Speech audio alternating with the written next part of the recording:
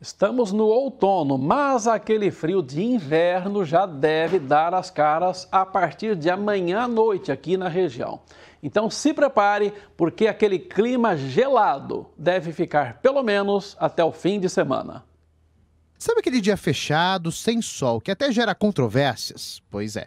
Foi assim que a massa de ar polar começou a dar as caras por aqui. E aí teve gente que colocou touca, cachecol. Pelo que eu vi no meu celular, né? Diz que vai vir uma frente fria aí que vai fazer muito frio. Já para Tainara, blusa mesmo só nas costas. Ela não sente frio, mas garante, tem estilo. Uma blusa, uma calça, uma bota. É, essa blusa que você trouxe hoje, ela veio mesmo para passear, né? Foi, para ficar no ombro assim, tipo estilo. 15 para as 11 da manhã praticamente e o termômetro aqui na região central de Campinas marcando 21 graus. Temperatura que não é das menores, pelo contrário, o problema é que nos próximos dias esse mesmo termômetro deve marcar 5 graus, situação bem diferente do que a gente está acostumado. Ainda mais no mês de maio.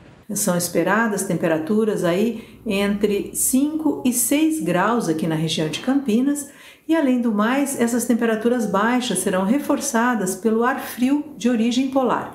Então a sensação térmica será de temperaturas ainda menores. Essa massa de ar chama atenção neste sentido, por ela vir agora em outono, maio, uma situação um pouco atípica e pela intensidade e pelo número de dias que ela permanecerá na nossa região. Nessa segunda-feira, Campinas amanheceu com 16 graus, temperatura que deve ser a máxima de quarta-feira.